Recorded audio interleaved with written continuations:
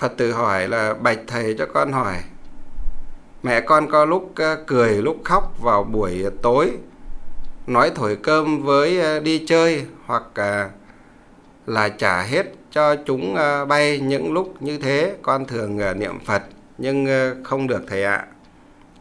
Mẹ con trước kia làm nghề bắt cua Hay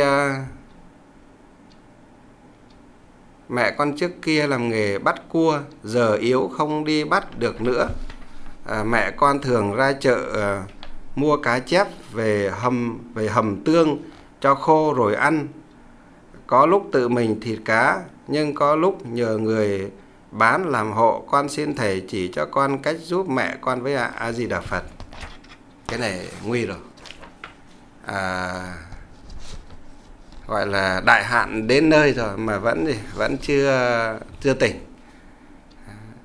Cái này là lặp lại trường hợp là lặp lại bà thanh đề. Lặp lại trường hợp giống như bà thanh đề, mẹ của tôn giả mục kiến liên. Hoặc là lặp lại cái trường hợp giống như là mẹ của à, bồ tát địa tạng khi bồ tát địa tạng bắt đầu à, chuẩn bị phát bồ đề tâm vậy. Đó, cũng thích ăn những gì, làm những việc ác ăn thịt chúng sinh. À, trước đây phật tử kể là trước đây mẹ thường hay à, đi bắt cua giờ yếu không đi được nữa nhưng thường hay ra chợ để mua cá chép về để hầm tương để ăn.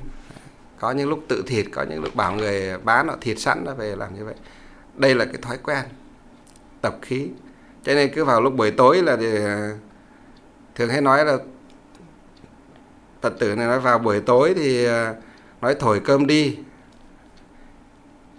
rồi à, nói là trả hết cho chúng bay những à, trả hết cho chúng bay cái bảo thổi cơm đi trả hết cho chúng bay vân vân. À, những cái này là bắt đầu cái cái à, nghiệp báo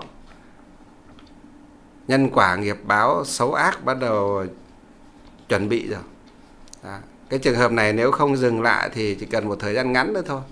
Là có thể là ốm đau bệnh tật liền dược liệt giường liệt chiếu trong kinh địa tạng đó là muốn sống không được muốn chết cũng chẳng xong.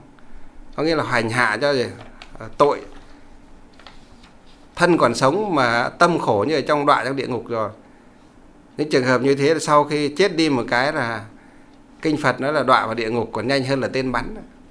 À, nên cái Phật tử này nên nên uh, đọc kinh địa tạng hoặc uh, lấy những cái băng giảng kinh địa tạng của các quý thầy và cho mẹ nghe mẹ chưa nghe được nhiều thì cho những đoạn nào mà phù hợp với cái hoàn cảnh gia đình nhà mình và đặc biệt là của mẹ của mình, cho mẹ nghe. Và khuyên mẹ, nhẹ nhàng khuyên mẹ càng như thế càng gần bên mẹ hơn, để khuyên mẹ để xem mẹ có phản tỉnh được không. Ở ngay đời này kiếp này không thì còn cơ hội cứu.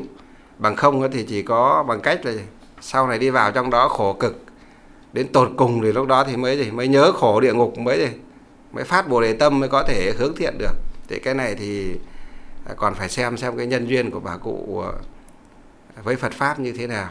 Đó nhưng mà Phật tử cũng nên bằng cái ờ, đạo hiếu của người làm con. Hãy cố gắng để mà gần gũi bên mẹ và tìm đủ mọi cách mọi phương tiện ờ, thiện xảo nhất tốt đẹp nhất của Phật giáo để của Phật pháp để khuyên bà cụ khuyên mẹ mình được ngay đời này là cái tốt nhất.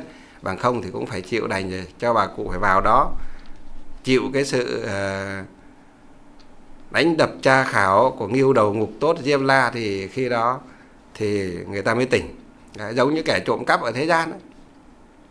còn đang nó còn đang ờ, đang đang ờ, ở ngoài vòng pháp luật ấy. nó chưa bị sờ gáy chưa bị bắt ấy. thì nó cứ nghĩ rằng thì nó tự do tự tại chẳng phải làm mà vẫn có tiền tiêu chỉ cần đi vạch qua một đám đông thôi móc túi được vài cái cái ví một cái là ăn vài ngày chưa hết à, cuộc sống như vậy là gì? thanh thản nhàn nhã cháu hay làm cái gì? Nhưng một ngày nào đó nó vừa thò tay ra nó móc túi người ta gì dính ngay gì vào mấy chú an ninh ấy, hoặc mấy cô an ninh nhá, thì nó chết luôn. Vừa thò tay ra một cái còng số 8 đã bập vào rồi và lúc đó nó có ăn năn hối hận chẳng kịp nữa. Lôi về để trong trại giam á. Lúc đó nó mới gì nó mới biết là cái cuộc sống ở trong trại giam nó không được tự do tự tại như thế nào.